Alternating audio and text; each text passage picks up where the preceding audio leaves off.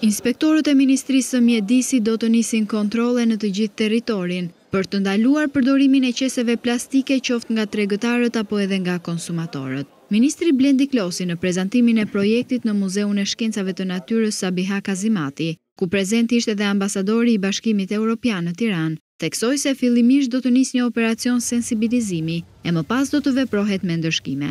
Pastrimi, Në datën njëzet e dy nëntor ju ftojmë që të gjithëve që të fillojmë një fushatë të madhe pastrimi në Shqipëri, me pushtetin qendror, pushtetin lokal, të gjithë institucionet, nën drejtimin e prefektëve, kudo në Shqipëri do të ketë një operacion madh pastrimi, jo një fushatë pastrimi, por një operacion pastrimi që do të kërkojë të shkojë nga data njëzet e dy nëntor deri në datën një qershor të vitit dy mijë e njëzet. Ambasadori i Bashkimit Europian Luigi Soreka, në fjalën e tij theksoi se Shqipëria duhet që t'i bashkohet nismave europiane për mbrojtjen e mjedisit. has become one of the most pressing environmental Bashkimi Europian ka përshtatur rregulla të reja për të nxjerrë jashtë përdorimit objektet plastike njëpërdorimshe nga viti dy mijë e njëzet e një dhe shqiptarët duhet të përfitojnë nga i njëjti nivel i mbrojtjes së mjedisit. Bashkimi Europian është duke punuar me shtetet anëtare që të përmirësojë jetën e përditshme për shqiptarët, sepse ata e meritojnë dhe sepse kjo e sjell Shqipërinë më afër standardeve europiane. Shqipëria nuk ka probleme vetëm me ruajtjen e mjedisit. Shkëputjet e shpeshta të energjisë janë vënë re edhe në këtë takim.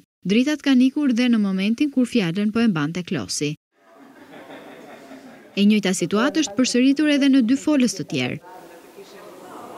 Pavarësisht reshjeve të dendura të këtyre ditëve, duke sjellë rritjen e prurjeve në hidrocentrale, Ministria e Energjisë nuk ka arritur të menaxhojë si duhet situatën.